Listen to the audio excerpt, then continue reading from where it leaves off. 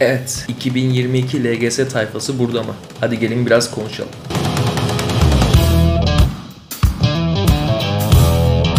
Evet bu sene sizin için önemli bir sene ve bu sene inanın zor bir sene olacak. Size tavsiyem LGS sınavında başarınızı arttırmak için şimdiden bir takım konuları çalışmaya başlamanız gerekiyor.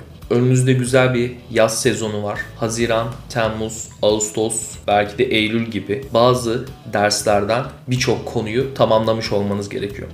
Burada gidin yeni nesil soru çözün. Gidin MEB'in örnek sorularını çözün demiyorum asla sizlere. En azından 3 ders. Bunlardan 2 tanesi ana ders. Yani Türkçe, matematik, fenden 2 tanesi. Bir tane de ara ders olmak üzere en az 3 tane dersi tüm konularıyla birlikte bitirmenizi tavsiye ediyorum. Tekrar söylüyorum. Ders çalışırken sakın ha sakın yeni nesil soru, MEB'in örnek sorusu çözmeyin. Bu yaz tatilindeki süreçte daha çok konuyu kavrama kısmında kalın. Yani kısacası çerez soru dediğim, yani benim tabirimle çerez soru denilen konu kavrama soruları çözün sadece.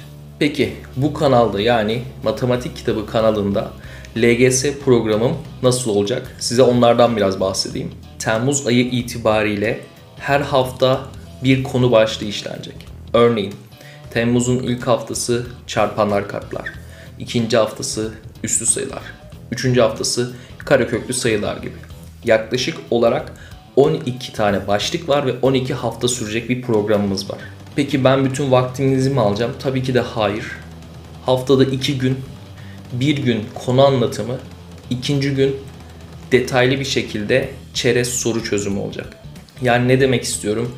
Eğer ki biraz önce bahsettiğim gibi 3 ders çalışacaksanız bunlardan biri matematikse benimle birlikte bu yazı çalışarak geçirebilirsiniz. Tekrar söylüyorum konu anlatımı, konu kavrama. Asla map örnek soru yok. Asla yeni nesil soru yok. Zaten onları okul açıldığı zaman yani sezon açıldığı zaman yeterince çözeceksiniz. Hem yeni örnek sorular çözeceksiniz hem eski örnek sorular çözeceksiniz hem kaynak kitaplardan çözeceksiniz vesaire vesaire. Peki matematik dışında ne çözebilirsiniz? Örneğin bir de Türkçe çözebilirsiniz ya da fen.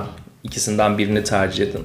Onun dışında mesela inkılap konularını bitirebilirsiniz. Ben sizden sadece iki gün istiyorum. Birinde konuyu anlamak için ve de gerekirse siz evde ben anlattıktan sonra soru çözersiniz.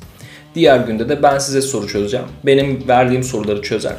Cevaplarını izlersiniz. Haftanın diğer geri kalan günlerinde yine bu şekilde bir gün konu anlatımı ve konu kavrama, diğer gün ekstra konuyu pekiştirme amaçlı soru çözme olarak ayırabilirsiniz. Yani 3 ders 6 gün bu şekilde bir planlama yapabilirsiniz kendinize. Peki yazın diyeceksiniz ki hava sıcak, dışarı çıkmak istiyoruz, gezmek, tozmak istiyoruz. Tabii ki bunlardan da kendinizi mahrum bırakmayacaksınız.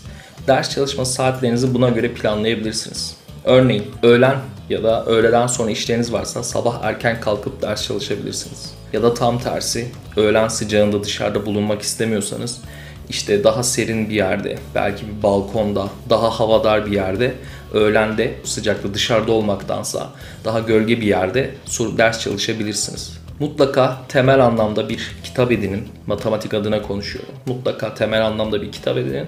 İçinde yeni nesil soru olmasın. Erken. Çünkü bütün konular bittikten sonra artık sizinle birlikte yeni nesil sorulara başlayacağız. Peki yazın konumuzu işledik. Konu kavramalarımızı yaptık.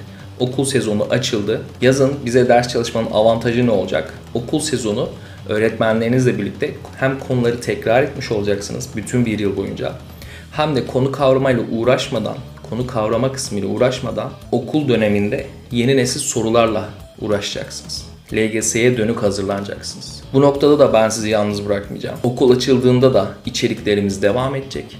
Peki bu içeriklerimiz ne olacak? Eğer kanalı biraz kurcalarsanız göreceksiniz. Son bir ayda arkadaşlarınız bana sorular gönderdiler Telegram üzerinden.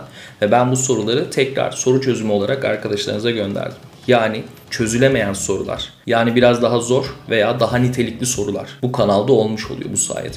Okul zamanı da elinizden geldiğince bu tarz soruları takip edebilir. Sizler de çözmeye çalışabilir. Benim anlattığım çözüm yollarını dinleyebilirsiniz. Evet 7'den 8'e geçen arkadaşlar. Sizlere tavsiyem bunlar olacak. Toparlamak gerekirse mutlaka iki ana ders, bir ara derse şimdiden çalışmaya başlayın. Çalışma programınıza her derse iki gün ayırın. Birisi konu öğrenme, diğeri konuyu pekiştirme amaçlı olsun. Asla ve asla yeni nesil soruymuş, örnek soruymuş. Bunları yaz tatilinde çalışmayın. Yaz tatili sadece konuları bitirmeye gayret gösterin. Matematik alanında zaten her hafta bir konu başlığı burada işleyeceğim. Takip edebilirsiniz. Ve de okul sezonu açıldığında da yeni nesil sorulara ağırlık vermiş olursunuz. Evet benim sizlere söylemek istediklerim bunlar. Umarım sizler için faydalı bilgiler olmuştur. Sorularınız ve görüşleriniz için aşağıda yorumlar kısmını kullanabilirsiniz. Yeni gelen arkadaşlar içerik takibi için abone olabilirsiniz. Bir başka videoda bir başka faydalı içerikte buluşmak üzere diyorum. Şimdilik kendinize iyi bakın. Sağlıcakla kalın.